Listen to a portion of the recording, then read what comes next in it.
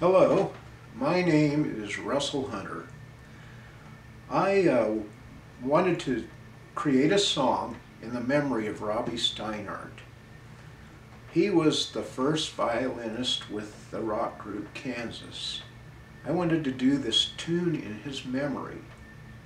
This song is called Robby's Tune. Without further ado, here's Robby's Tune.